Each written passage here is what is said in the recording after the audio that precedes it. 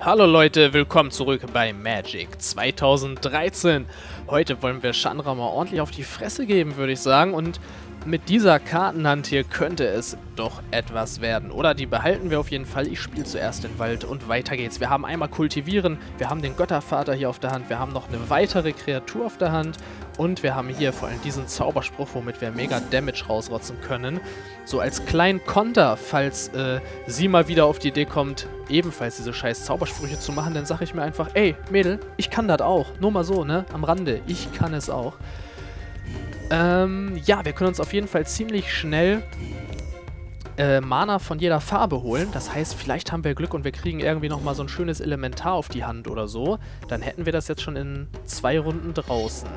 Okay, sie fängt wieder mal an, hier mit irgendwelchen scheiß Viechern um sich zu schmeißen. Also, ich weiß nicht, die ist echt mega stark. Kann man nicht anders sagen. Also, ich ziehe meinen Hut vor dir, Chandra. Ähm, also sie hat schon ein ziemlich gutes Deck. Das muss man einfach mal so sagen. Das scheint auch ziemlich geil aufeinander abgestimmt zu sein. So, jetzt habe ich nicht ernsthaft vergessen, was ich jetzt für Länder hatte, oder?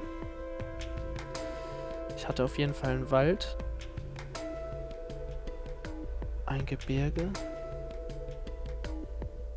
Und, oh, ich habe es echt vergessen. Was passiert, wenn ich jetzt beenden drücke? Ich glaube, ich hatte eine Ebene, oder? Also sprich, ich muss jetzt noch eine Dingens nehmen und eine Ebene. Kommt schon, das ist... Hoffen wir mal, dass es richtig war. Oh Mann, ey, jetzt bin ich schon wieder unachtsam geworden. Es ist übrigens der zweite Versuch nach der Aufnahme. Also ich habe schon einmal noch wieder verkackt. Da hat sie mich auch ziemlich hart rangenommen mal wieder. Jetzt spielt sie ein Amulett, wodurch ihre Mana-Kosten wieder gesenkt werden. So, jetzt bin ich gleich gespannt, ob ich alles richtig gemacht habe. Oh, sie hat noch so ein scheiß Fackelunhold. Okay. Da kann sie Artefakte mit zerstören. Das finde ich irgendwie ziemlich scheiße, muss ich ja mal sagen. Auch wenn wir eigentlich kaum Artefakte spielen, wenn man es mal so sieht, ist es auch nicht so wild. Gut, ähm, blocken ist nicht. Wir haben ja noch keine Kreatur draußen, aber das seht ihr ja selbst. Und ich weiß jetzt gerade nicht, natürlich habe ich es nicht richtig gemacht. Wir haben nämlich keinen Sumpf gehabt, aber ich habe nochmal das wuchernde Wachstum bekommen. Und damit holen wir uns dann einfach einen Sumpf, würde ich sagen. So, wir spielen meinetwegen die Ebene nochmal. Was kann das hier nochmal? Lege eine Kreatur der Wahl? Nee. Ähm, ich hole mir erstmal eben schnell einen Sumpf. Grants, einen Sumpf. Denk dran, einen Sumpf brauchst du. So, damit haben wir jetzt sieben Länder draußen. In der nächsten Runde acht. Und ich hätte mir noch einen Wald holen sollen eigentlich, wegen dem Göttervater. Aber, ja. Nee, so weit habe ich nicht gedacht. So, was bringt sie jetzt wieder? Noch eine 2-2-Kreatur. Vielleicht ist es gleich mal an der Zeit, dass wir ihr zum ersten Mal auch sonst ein bisschen Schaden einfach reinhauen. Damit ihre Kreaturen alle down sind und uns dann den Weg sozusagen ebnen, dass wir unsererseits ein paar Angriffe starten können. Ich möchte jetzt auch nicht riskieren, dass wir zu wenig Lebensenergie haben. Jetzt haben wir sogar noch einen Wald bekommen. Ja, dann würde ich sagen, machen wir jetzt Schaden. Und in der nächsten Runde hauen wir den Göttervater raus. So, also natürlich gehe ich hier aufs Maximum, damit sie auch ein bisschen Schaden bekommt. Und damit alle ihre Kreaturen down sind. So, sehr gut. Nächste Runde spielen wir unsererseits den Göttervater. Und dann können wir mal schauen, wie sie reagiert. Der Göttervater ist echt ziemlich nice. Da habe ich jetzt ja auch nochmal, glaube ich, herausgefunden, dass man sogar... Ist das ein Flieger? Natürlich nicht. Sehr schön. Äh, habe ich ja auch noch herausgefunden gehabt, dass man den, soweit ich das jetzt verstanden habe, sogar angreifen lassen kann und dann immer noch tappen kann, damit er diese 8-8er-Kreatur da zum Vorschein holt. So, also den spielen wir natürlich jetzt erstmal direkt. Ich hoffe, dass sie jetzt keine scheiß Zaubersprüche wieder wirkt.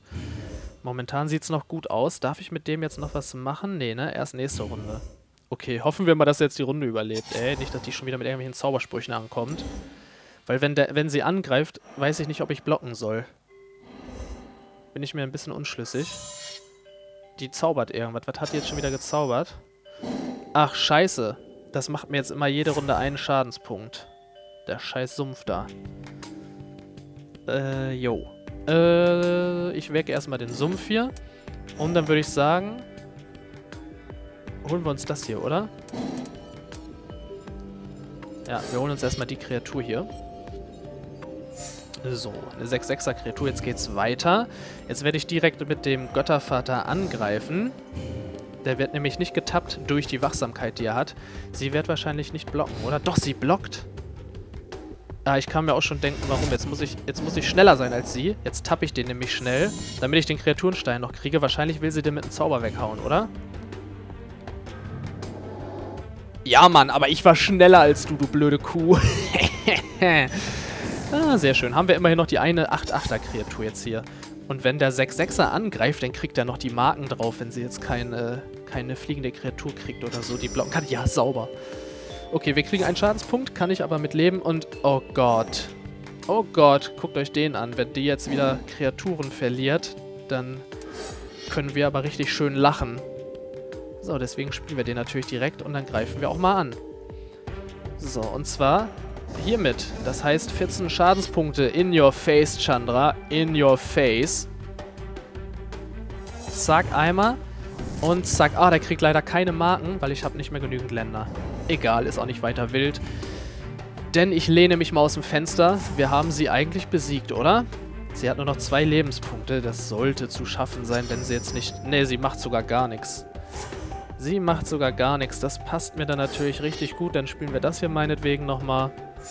Und, oh, ich kann sogar das hier nochmal. Was macht das nochmal? Ein, Wahl. Neutralisieren. Ja, bringt mir jetzt auch nichts. Ja, doch, komm, ich könnte das Artefakt hier zerstören. Dann ärgert sie sich halt nochmal ein bisschen. Aber Leute, wir haben sie jetzt besiegt. Ah, jetzt kriegen wir das ja auch noch. Stimmt, das geht nicht nur für Kreaturen, sondern für alle bleibende Karten. Ey, könnte ich sogar mit ihren Ländern machen. Das ist ja auch nice. Ja, okay, jetzt sind meine Sachen billiger, aber hilft mir jetzt auch nicht mehr weiter, denn ihr seht es ja selbst. Jetzt werden wir mal eben einen kleinen Angriff starten und dann ist sie mit minus 19 Punkten in Verzug und ist entsprechend dann K.O. So, Chandra war auf jeden Fall ein ziemlich harter Brocken, das muss ich jetzt einfach mal an dieser Stelle sagen. Nach der letzten Aufnahme habe ich, wie gesagt, noch einen Versuch offscreen gemacht. Und der hier war jetzt sozusagen der zweite nach der Aufnahme. Also haben wir insgesamt, ich glaube, acht Versuche gebraucht oder so. Nicht schlecht. Äh, wir können jetzt eigentlich äh, zurück zur Kampagne gehen, würde ich sagen. Und können uns dann beim nächsten Mal direkt um Nickel Bowlers kümmern, Leute. Dem legendären Drachen. Da bin ich mal gespannt, ob der jetzt mehr drauf hat als beim letzten Mal. Also, ich würde sagen, wir sehen uns im nächsten Part, wenn ihr mögt. Ich würde mich auf jeden Fall freuen. Und bis dahin wünsche ich euch noch einen schönen Tag. Macht's gut. Ciao.